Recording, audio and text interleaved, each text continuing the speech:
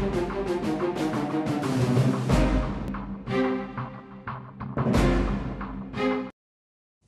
Здравейте, уважаеми зрители! Вие сте с новините в 12. Аз съм Петя Козева.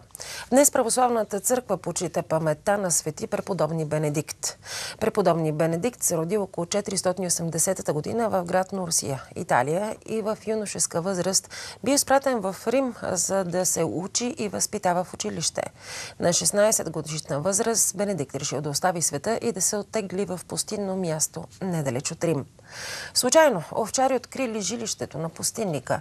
Започнали да идват при него люда от околните селища за наставления. Славата на преподобни Бенедикт се разпространила далече, посетителите се събирали на тълпи около неговата пещера. Постепенно се образували манастири.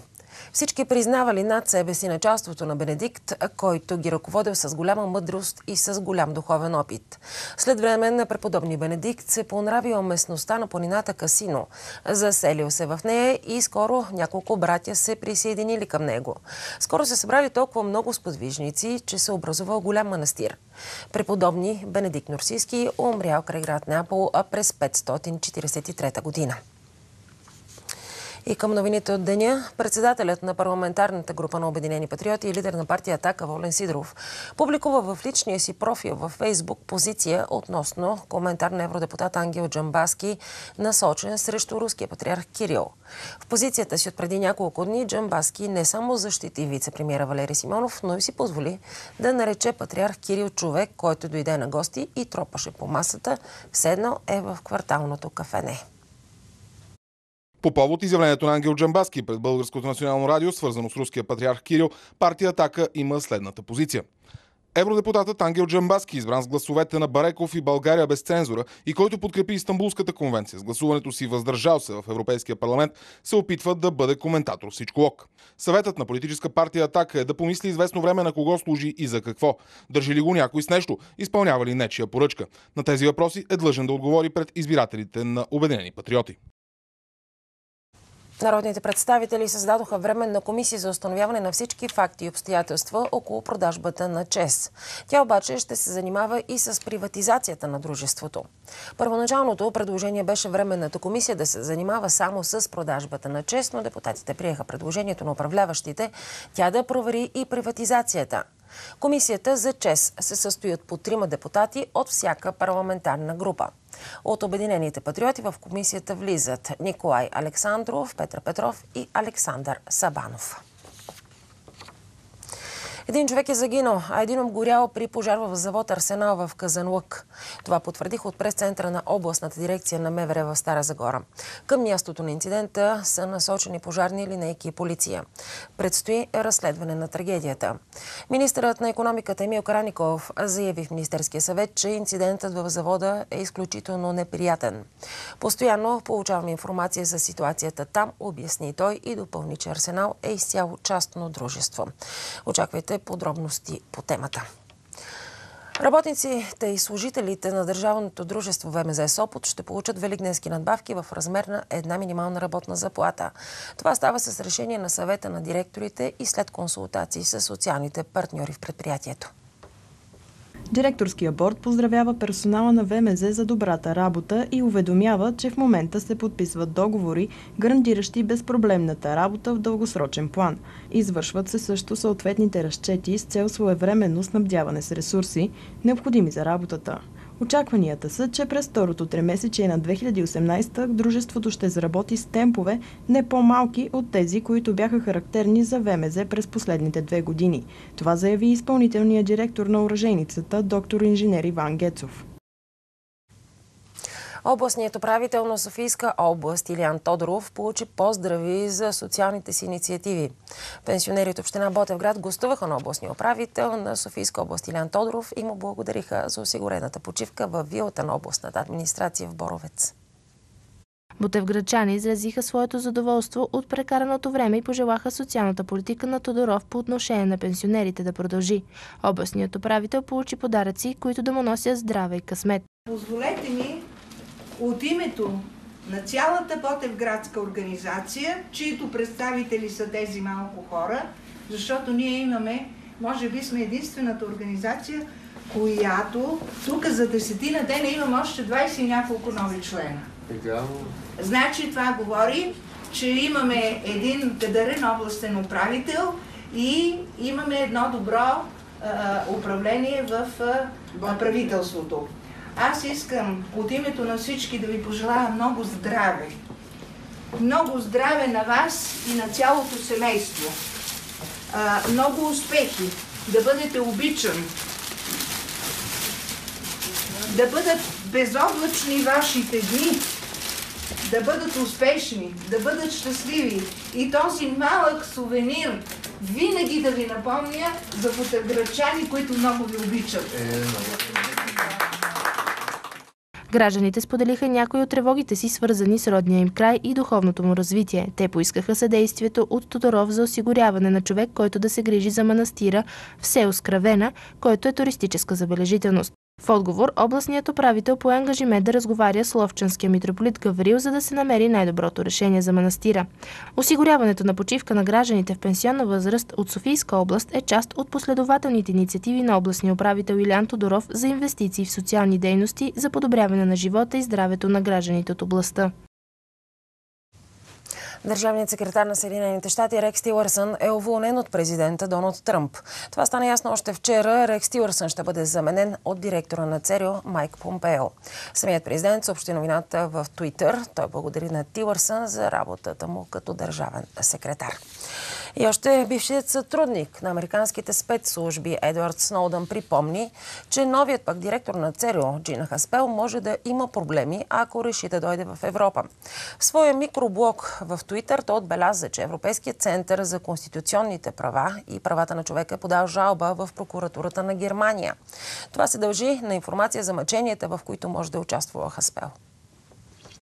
Преди това Сноудън съобщи, че става въпрос за случаите, в които тя е отговаряла за изтезанията през 2012 година, както и за унищожаването на видеозаписите.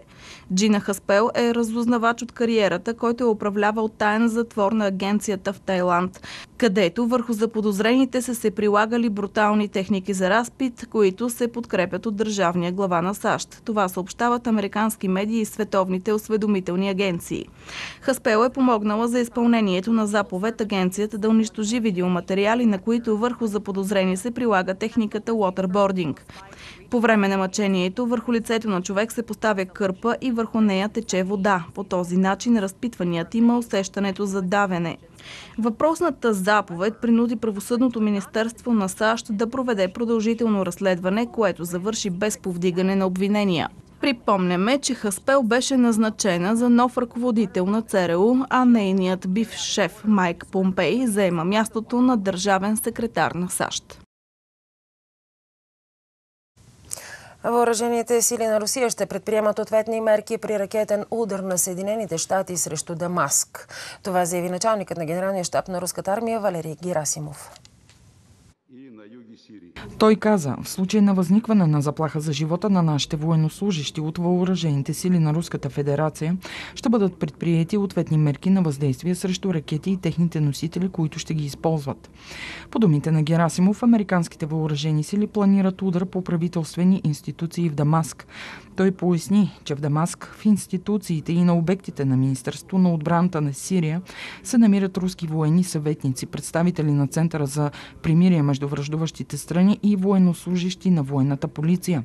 Валери Герасимов уточни, че по информация на руските военни, екстремистите в Сирия планират да инсценират химическа атака. Американският удар се планира да стане като отговор именно на такъв инцидент. По-рано постоянният представител на САЩ към ООН Ники Хели заяви, че американските въоръжени сили могат да нанесат удар по правителствените сили в Сирия, ако бойните действия в района на източна Гута не бъдат прекратени. Възможно основание за удар от страна на САЩ, по думите на дипломата, може да стане инсценирана химическа атака от правителството на Башар Асад. Руската авиация в Сирия е нанесла мощни удари по стратегически важни обекти на терористите от Хаят Тахрир Ашам в северната част на провинция Идлиб. В продължение на седмица терористите атакували и обстрелвали с ракети минохвъргачки обсъдените шиитски градове Фуа и Кефрая, разположени в северната част на Идлиб.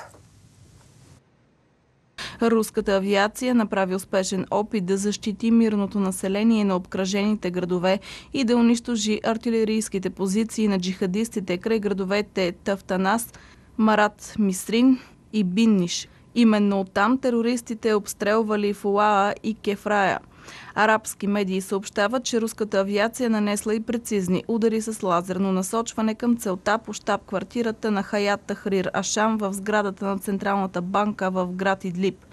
Загинали са десетки терористи и мнозина командири. По случайност този удар е заснет на видео. Руският президент Владимир Путин заяви, че няма никакво намерение да променя Конституцията на Русия, за да остане на власт и след 2024 година. Президентът на Русия заяви това в интервю за американската телевизия NBC.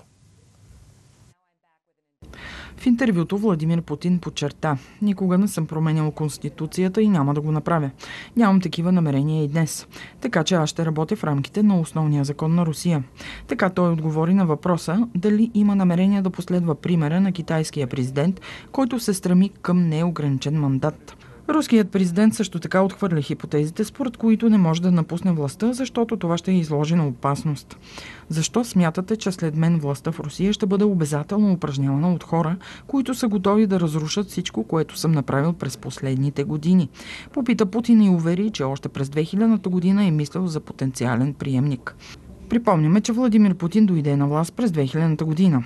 В периода от 2008 до 2012 година президент бе Дмитрий Медведев, а Путин е премиер, но после отново се върна на президентския пост, въпреки протестите на опозицията. През декември 2017 година президентът Путин официално заяви, че ще се бори за нов мандат в изборите през март 2018 година. Тогава той информира, че ще се кандидатира като независим кандидат и разчита на широка подкрепа от партиите и хората в Русия. Около 250 автомобила участваха в флашмоб в град Хабаровск. Шофьорите изобразиха с автомобилите си половината от лицето на руския президент Владимир Путин. И също го заснеха с дрон. Размерите на така нареченото платно са около 210 на 70 метра. Сибирските шофьори подчертаха, че флашмобът на колела няма нищо общо с предстоящите президентски избори в Русия, които ще се проведат на 18 марта. Планирахме да създадем нещо сложно от дълго време. В крайна сметка избрахме портрет и се спряхме на президента. Той сега е най-главният човек в страната и така ще е поне през последните няколко седмици. След това е неизвестно. Каза Вячеслав Шемпелев, организатор на флашмоба. Първоначално е трябвало да участват още няколко автомобила, тъй като 250 коли били достатъчни само за половината на изображението. Подготовката за флашмоба е отнела 4 часа, тъй като било трудно да се наредят автомобили във форма, особено на портрет портрет. През цялото време участниците в събитието до последния момент били в неведение каква точно фигура ще се получи накрая. Заради мащаба на картината, първоначално е било невъзможно тя да бъде разгледана в общ план. Така автомобилистите вдигнали в небето безпилотник с камера. Докато водали онлайн транслиране, участниците в флашмоба са забавлявали, като слушали музика, танцували и общували помежду си на автомобилни теми. През месец май миналата година шофьорите в Хабаровск организирали друг флашмоб, посветен на Деня на победата с участието на общо 521 автомобила. Най-мащабният флашмоб с автомобили в Хабаровск обаче за сега остава този от лятото на 2017 година, когато шофьорите наредили 721 автомобила в гигантска форма на руския герб и буквите РФ. Това лято автомобилистите планират да създадат нов автомобилен шедьовър и да запишат нов рекорд. Галерия Стил на лидера на Атака Волен Сидоров и съдружника му Светлин Гугов ще представи уникална изложба на великия български художник Димитър Казаков Нерон. Събитието, заглавено Самотният император, отвари врати на 21 март и ще продължи 20 дни. Посетителите ще имат възможност да се насладят на повече от 25 творби на Нерон, които за първи път ще видят бял свят. Сред тях са Адам и Ева, Лазарка и гледащата в бъдещето Космос. Изложбата е подредена лично от Гугов и се очаква да бъде открита от галериста Калин Николов, който познава в детайли богатото творчество на Казаков. Сидоров участва лично в организацията на изложбата. Във всяко излязло до сега, вероятно и за в бъдеще, за Димитър Казаков има и ще има доза истина и неистина. Още при живе той бе пример как се създава един мит, за което безспорно спомогна както неговото нестандартно поведение, пародиращо общоприятите норми, така и въображението на тези, които го създават. Това беше най-важното и най-интересното до момента. Следете новините на Алфа на всеки кръгъл час. Не пропускайте държавата днес в 18 часа, както и на жълтите павет в 18.30. Хубав ден!